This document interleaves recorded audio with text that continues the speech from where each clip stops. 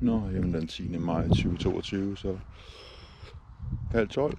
Øhm, så fik jeg da gjort det der færdigt, som den der Windows pedel, som Skibby Høj jo ikke har ansat til rent faktisk at foretage sig et eller andet, måske gå rumme en buskrydder eller et eller andet der. Øh.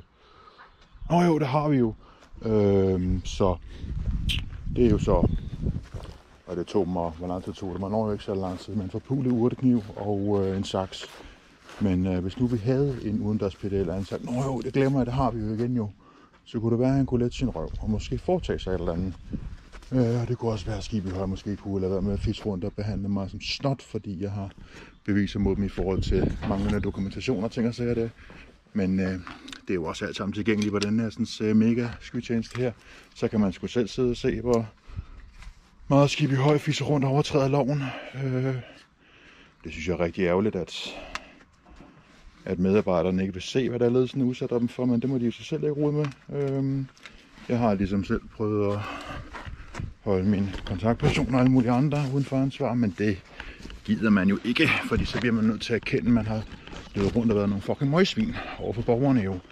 Øhm, så er ikke fordi det tager så lang tid lige at lette røven. Og det har jeg ikke fået en skid for. Jeg har ikke fået nogen løn for det. Og alligevel så har jeg gjort det for ligesom at vise, hvor svært kan det være. Øhm, så igen, vi har både en gartner og vi har en udendørs pedel ansat her på Skib i Høj. Så kan man jo så postulere, at de ikke laver en flot fis i forhold til, at de får løn.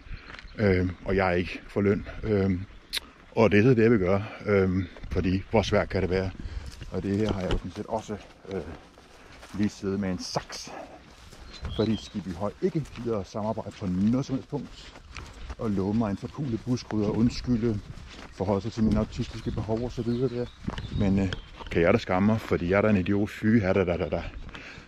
Så ja, det er jo det er. Øhm, nu tænker jeg så, at jeg vil gå ned her efter lige har fået lidt vand eller et eller andet der, fordi det giver min kontaktperson så heller ikke rigtig tænker, mm, det er varmt, det sommer, det tænker så jeg måske, vi lige skulle sørge for at tage hånd en Peters, øh, eller Manfreds ADHD, så han ikke bare knolder det ud af at få et hedeslag eller et eller andet der. Men det er jo selvfølgelig ikke om, omsorgssvigt jo. Nå jo, det er det faktisk. Øh, så, øh, men det er der heller ikke rigtig nogen, der gider at tage hånd om, så at sige, her på Skibihøj, fordi jamen, det er jo typisk, at de kan ikke gøre noget forkert, eller kan de? Nå jo, det kan de jo rent faktisk godt, hvis man gad at kigge efter jo. Øhm, nå, tilbage til det. Øh, her efter jeg lige har fået noget vand, så tror jeg, jeg vil gå ned og gøre mere af det arbejde, som øh, vores underspedel, som vi... Nå vi har rent faktisk ansat sådan en her på Skibehøj. Huh.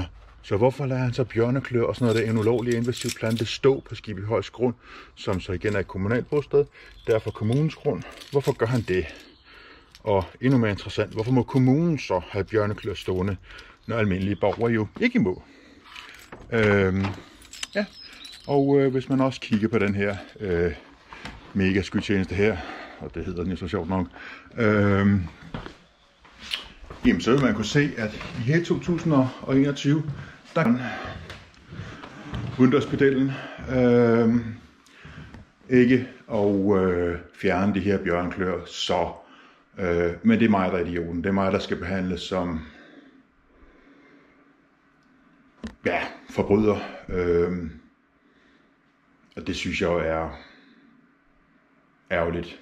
Men øh, sådan er det åbenbart desværre. Øh, jeg håber, der bliver lavet om på det, fordi det synes jeg skulle ikke er i orden.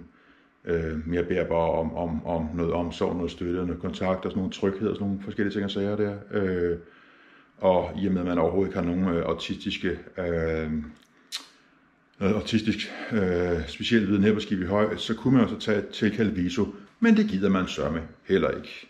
Og viso for dem, der ikke lige ved det, det er så en, øh, en speciel enhed under Socialstyrelsen, som så er koster en halv million øh, gange milliard, trilliard og bestille, så at sige, øh, til et hvert bosted. Nå nej, det er gratis. Det er en statslig enhed, som er gratis, og hvad skal man sige, øh, udkald, indkald, whatever, til et bosted, så de rent faktisk vil kunne opnå speciel viden for, inden for for eksempel, og ikke kun begrænset til autisme. Men det vil Skib i Høj ikke. Så kan man altså undre sig meget over det, forhåbentlig.